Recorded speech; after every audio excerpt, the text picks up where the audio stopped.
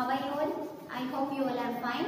Now welcome to the third video lecture of Standard 10 Science chapter number 6 Life Process. Okay, as you all know this is the chapter of biology. Now last video lecture में हमने autotrophic nutrition देखा था उसमें मैंने आप लोगों को बोला था मैं नेक्स्ट वीडियो में दो एक्टिविटी एक्सप्लेन करूँगी okay? तो फ़र्स्ट एक्टिविटी uh, है हमारी एक्टिविटी 6.1 यहाँ पे आप लोग देख सकते हो मैंने दो लीफ ड्रॉ किए ओके पहले हमको क्या करना है? एक प्लांट में से फॉर एग्ज़ाम्पल ये ओटोन प्लांट और मनी प्लांट है ओके उसका एक लीफ लेके उसको प्लग करना है। प्लग करके फिर उसको तीन दिन तक डार्क रूम में रखना है। वो लीफ को तीन दिन तक डार्क रूम में रखना है। क्यों डार्क रूम में रखेंगे? मैंने आप लोगों को एक्सप्लेन किया था कि जैसे हम लोग फोटोसिंथेसिस प्रोसेस नहीं होती उस टाइम खाना नहीं बनता बट प्लांट्स को तो खाना चाहिए। तो वो स्टोर फॉर्म में स्टार्च को रखते, ताकि जब उसको खाना ना मिले तो वो स्टार्च को लेके वही एनर्जी यूज़ करते। तो हम तीन दिन तक इसको डार्क रूम में इसलिए रखेंगे कि जितना भी यहाँ पे स्टार्च प्रेजेंट होगा वो यूज़ हो जाएगा। प्लांट उसको यूज़ कर लेगा ओके फिर वो लीफ को हम क्या करेंगे? सॉरी लीफ को प्लग नहीं करना है, पहले पूरे पोट को कितने दिन तक? तीन दिन तक डार्क रूम में रखना है। फिर डार्क रूम में रखने के बाद उसको वापस छह घंटे के लिए सिक्स आवर्स के लिए उसको हम कहा रखेंगे? सनलाइट में, ताकि उसमें वापस से फोटोसिंथेसिस प्रोसेस हो और नया नया उसमें जो फ़ूड हो नया नया कार्बोहाइड्रेट फॉर्मेशन हो वहाँ पे ओके उसके बाद हमको क्या करना है?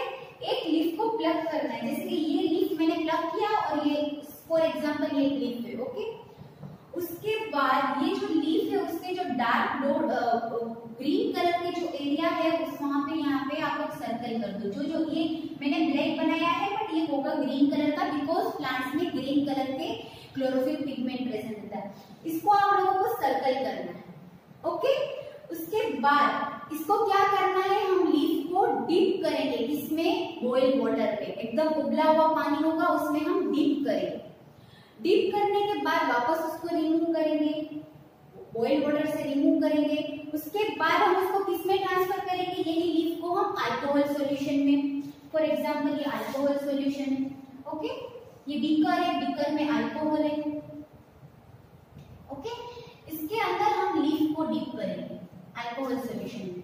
यही बीकर को हम वाटर बाथ में हीट करेंगे। वाटर बाथ मतलब एक बाथटब जैसा होता है, जिसमें पानी गर्म होता है। और वही यहाँ पानी गर्म होगा और उसमें हम ये अल्कोहल सॉल्यूशन को गर्म करेंगे और उसके अंदर हमारा लीफ प्रेजेंट होगा। उसके बाद ये लीफ को हम रिमूव करके क्या करेंगे? अगेन उसको हम वॉश करेंगे। पानी से इसको वॉश करेंगे। फिर हम उसको अगेन आयोडीन सॉल्यूशन में डालेंगे। फॉर एग्जांपल ये हमारी पेट्री डिश है। ओके ये हमारी पेट्री डिश है। पेट्री डिश कुछ नहीं होता, एक बाउल जैसा होता है, जिसके अंदर हमको कुछ सॉल्यूशन भरना हो तो हम इसमें आयोडीन सॉल्यूशन भरेंगे। क्या भरेंगे? आयोडीन सॉल्यूशन और इसके अंदर हम लीफ डाल देंगे।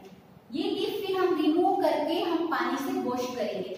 जैसे हम पानी से वॉश करेंगे, ये जो ग्रीन कलर के पेजेस थे, वो हमको ब्लू कलर में कन्वर्ट होते हुए दिखेंगे ओके इसका मतलब है कि chlorophyll pigment is necessary for the process of photosynthesis हम, क्योंकि ये जब ग्रीन कलर का पिगमेंट प्रेजेंट होगा, तभी वो आयोडीन से स्टेन होके ब्लू कलर में कन्वर्ट होगा। यहाँ पेचिस दिख रहे थे। अगर पूरा ग्रीन लीफ होता तो पूरा ब्लू कलर में कन्वर्ट होता। बट हम लोग ने यहाँ पे पेचिस इसलिए बनाए, उसको थोड़े थोड़े टाइम तक डार्क रूम में रखा था और वापस फोटोसिंथेसिस करवाया, इसलिए अभी स्टार्टिंग हो रहा था ग्रीन कलर वही ग्रीन कलर के पेजेस आयोडीन के साथ स्टेन होकर ब्लू कलर में कन्वर्ट हो गए. That means the chlorophyll is present in the plant and this chlorophyll pigment is necessary for the process of photosynthesis okay ये एक्टिविटी 6.1 था, अब हम आगे एक्टिविटी 6.2 को पढ़ते हैं। अब हम पढ़ेंगे एक्टिविटी 6.2 एक्टिविटी 6.2 में हमको क्या करना है? दो हेल्दी बॉडी प्लांट्स लेने okay plant A and plant B दोनों प्लांट लेने हैं। उसको किसमें रखना है? पहले हम लोग को उसको तीन दिन तक डार्क रूम में रखना है। जैसे मैंने पहले एक्टिविटी में बताया था, हम तीन दिन तक डार्क रूम में रखेंगे। क्यों रखते डार्क रूम में? ताकि जितना भी वहाँ पे स्टोर फॉर्म में स्टार्च प्रेजेंट था ना, वो वो यूज़ हो जाए। और उसके बाद हम उसका एक्सपेरिमेंट करेंगे। ठीक है?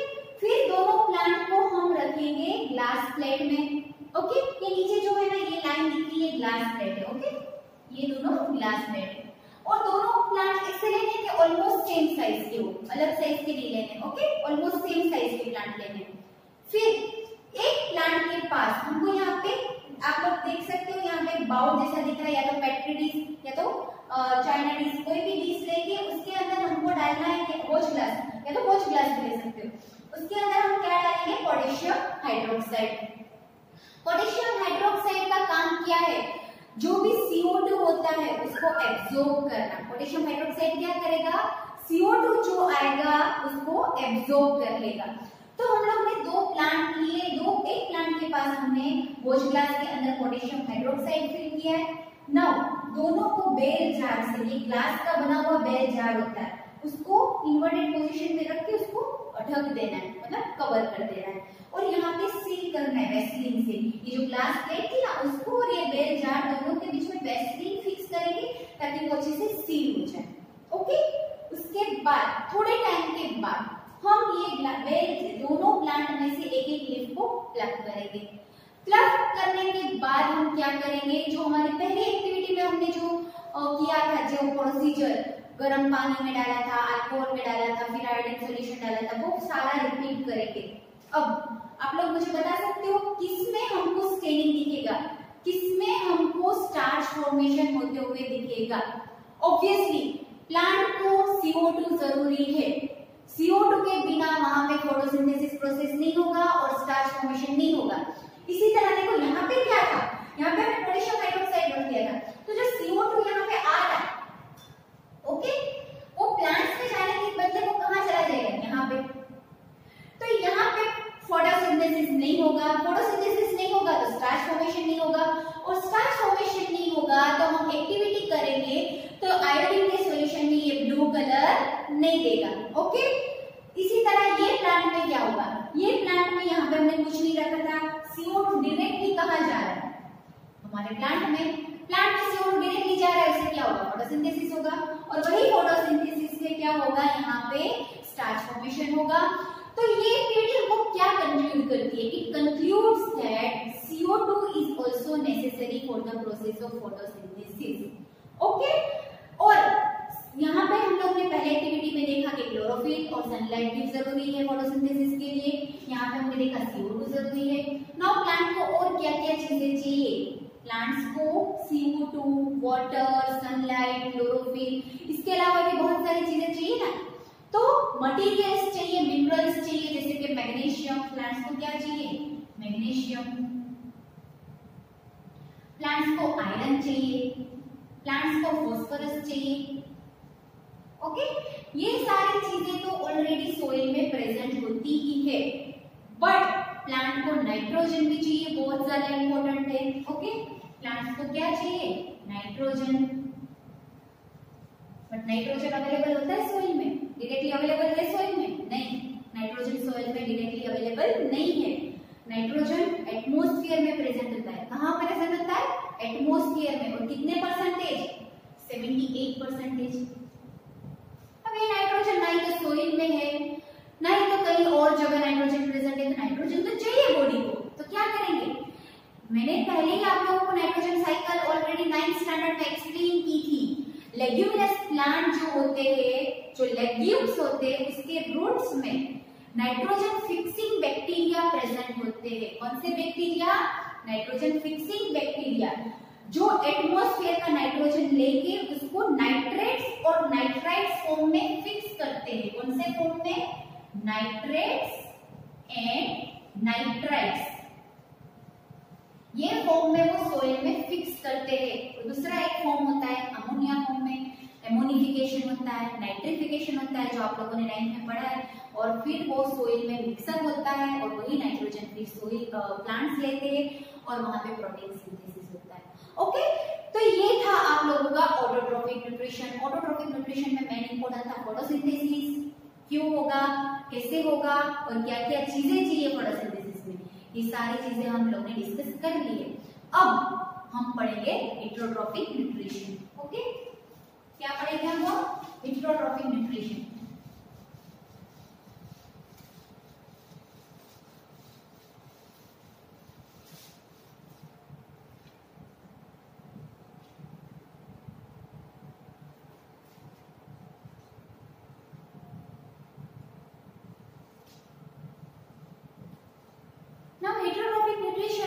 जानते हो। हिट्रोट्रॉप्स मतलब क्या? जो डायरेक्टली अपना खाना नहीं बना सकते, जो दूसरे पे डिपेंड है अपना खाना बनाने के लिए।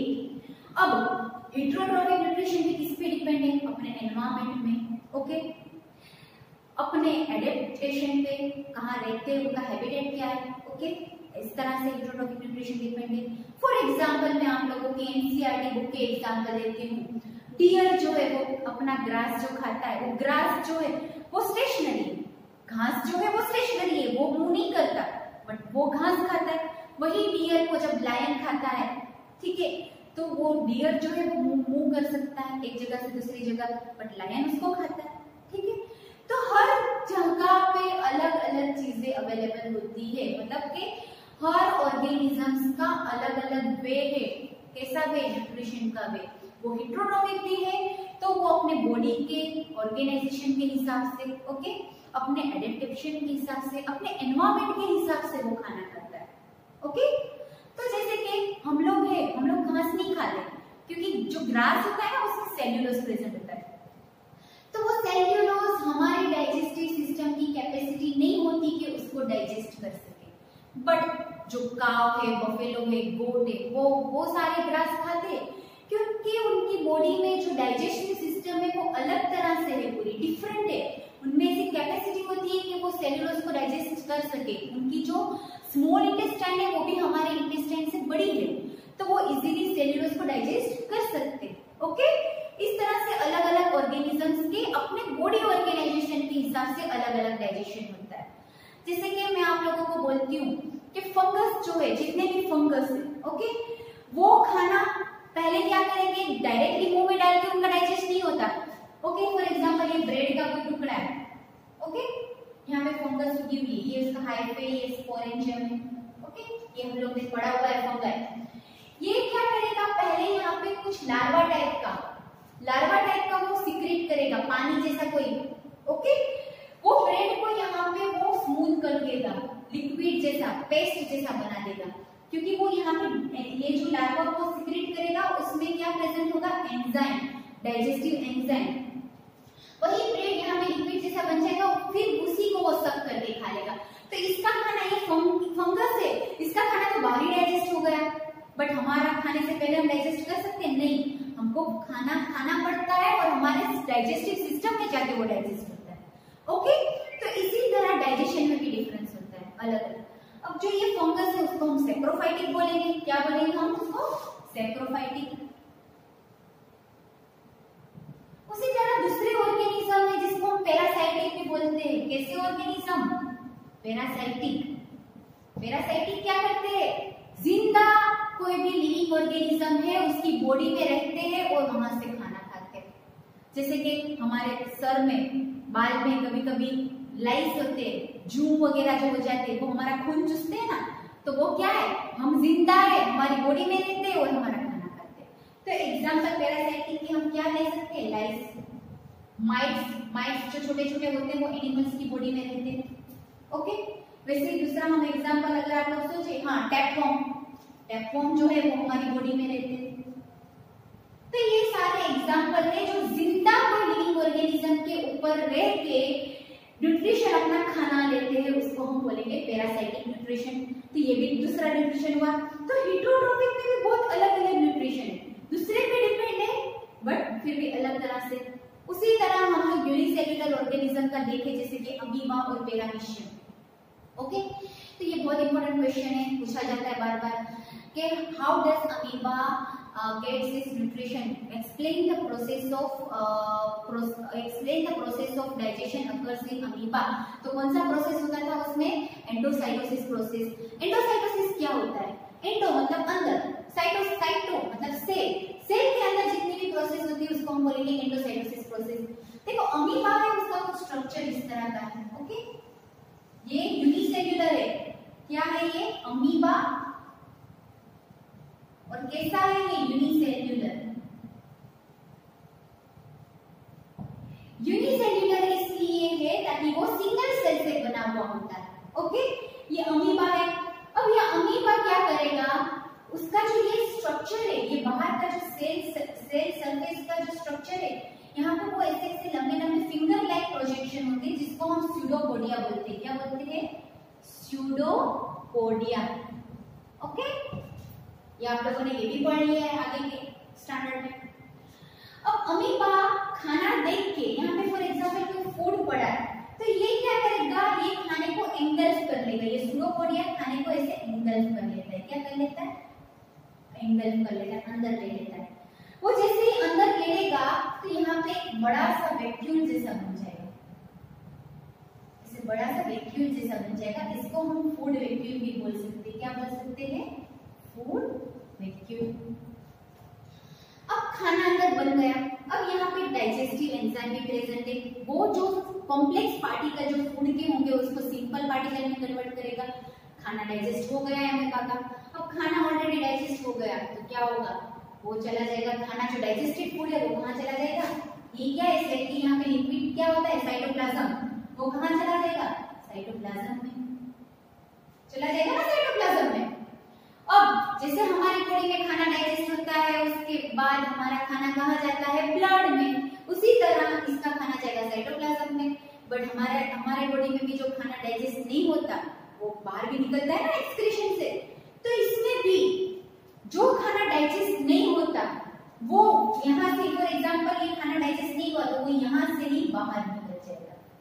ओके ही वॉल है, एक ही सेल सरफेस है जिससे सारी प्रोसेस होती है। खाना अंदर भी जाता है और अनडाइजेस्टेड फ़ूड बाहर भी निकलता है। तो ऐसी प्रोसेस को हम क्या बोलते हैं? एंडोसाइटोसिस प्रोसेस कौन सी प्रोसेस एंडोसाइटोसिस ओके ये अमीबा का एग्जांपल हो। गया इसी तरह मैं आप लोगों को एक एग्जांपल देती हूँ पेरामीशियम का।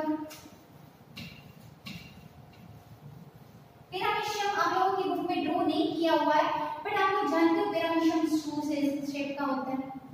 कैसा होता है? शू शेप का? ओके इसमें बाहर छोटे छोटे हेयर टाइप स्ट्रक्चर होते हैं, उसको हम क्या बोलेंगे? सिलिया क्या बोलेंगे? सिलिया इसी में भी इसी तरह होगा। क्या होगा? खाना अंदर जाएगा। सिलिया क्या हेल्प करता है? मूवमेंट के लिए। किसके लिए? हिलने के लिए। पेरामीशियम को हिलने के लिए। पेरामीशियम मैं यहाँ पे लिख देती हूँ। पेरामीशियम ओके तो पेरामिशियम के मूवमेंट के लिए ये सिलिया हेल्पफुल रहता है? यहाँ पे भी फ़ूड यहाँ से जाएगा और जो अनडाइजेस्टेड फ़ूड है वो यहाँ से बाहर निकल जाएगा। ओके आई होप आप लोगों को ये समझ में आ गया होगा हेट्रोट्रोपिक का इंट्रोडक्शन था। अब ये मैंने आप लोगों को थोड़ा बहुत सेप्रोफाइटिक भी समझा दिया, जो फंगस वगैरह में होता है। पैरासाइटिक भी समझा दिया, जो दूसरे ज़िंदा ऑर्गेनिजम्स के ऊपर डिपेंड रहते। और ये हमने यूनिसेल्युलर का देखा, जो अपना डाइजेशन कैसे करते तो ये सारे थे हेट्रोट्रोपिक फिर भी सबका अलग अलग प्रोसेस अब हम मेन इंपॉर्टेंट थिंग जो पढ़ेंगे digestion in human being heterotrophic nutrition in human being वो कैसे होता है, वो मैं आप लोगों को डिटेल में नेक्स्ट वीडियो लेक्चर में एक्सप्लेन करूँगी okay till then have a nice day stay home stay safe